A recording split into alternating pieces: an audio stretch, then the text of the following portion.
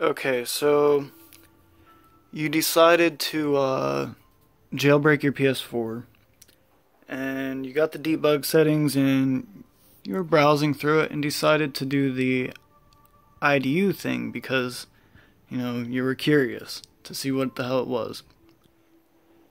Well, I'm I did the same thing, so don't feel too stupid. Well, I mean I am stupid, so feel stupid. Um It's actually quite easy to get out of it. It took me a couple days to for it to pop in my head.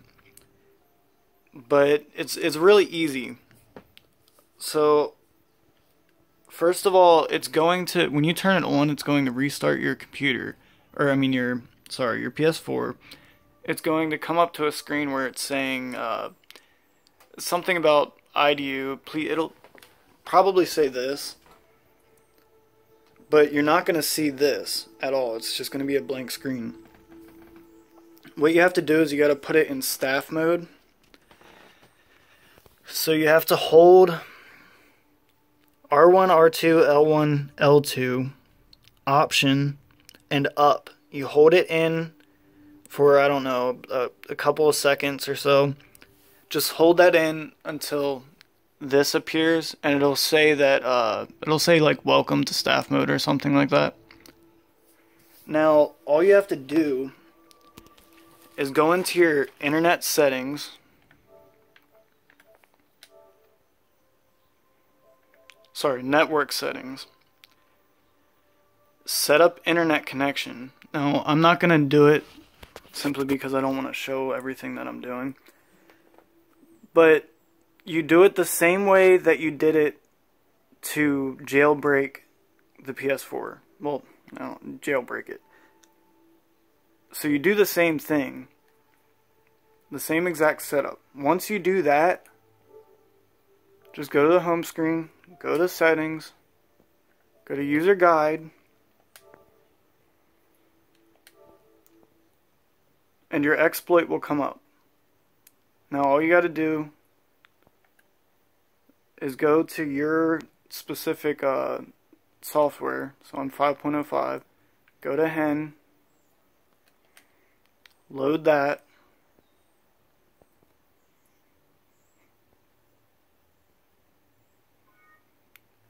Yeah, yeah, not enough space, blah, blah, blah.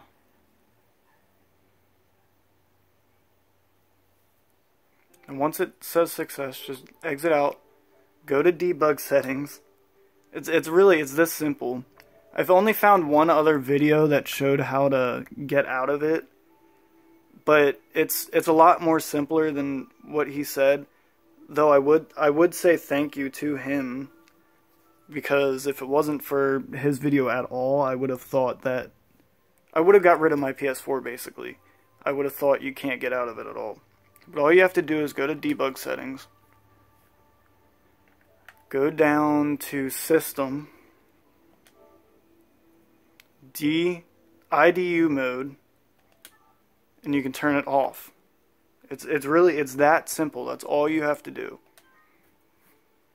Okay, it'll restart the system and it'll be right back to the way it was before. Now, if you're, when you first turn it on, if for whatever reason, if the if putting it in staff mode doesn't work, all you have to do is turn off the PS4, hold in the power button until the second beep, and that'll put you into, um, what's it called, safe mode. Now what you're going to do from there, it sucks, but there's, from what I know, there's nothing else you can do. You have to go to restore system uh, de to default settings. You won't lose any of your games. It's just going to put it all back to system default settings. That's it. Once that happens, turn it back on. Do the same thing.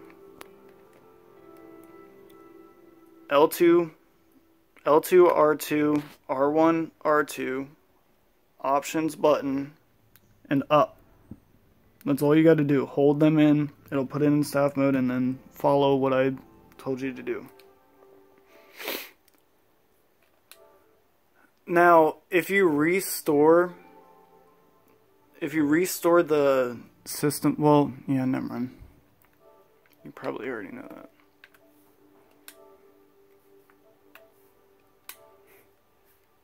Use User guide. And I'm back. That's all you have to do. It's that simple. Alright, that's it.